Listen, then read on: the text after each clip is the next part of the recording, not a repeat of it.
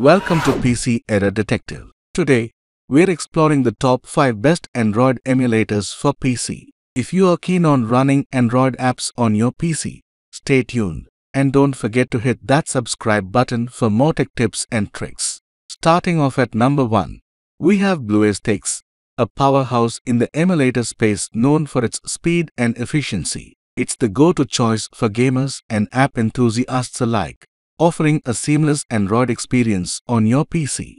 Up next at number 2 is Android Studios Emulator. This is the official app for Android development and its emulator is perfect for developers looking to test their apps in a controlled environment. It's feature-rich and highly customizable. Number 3 brings us Bliss OS, an open source OS based on Android that you can run on your PC either as a virtual machine or as a standalone OS. It's a unique approach to Android emulation, focusing on performance and privacy. Gameloop takes the fourth spot, formerly known as Tencent Gaming Buddy. It's specifically optimized for gaming, providing access to a vast library of Android games on your PC, with the added benefit of keyboard and mouse controls. Last but not least, at number 5, we have LDPlayer It's a lightweight emulator designed to offer a smooth gaming experience, supporting a wide range of Android games and apps with excellent compatibility and performance.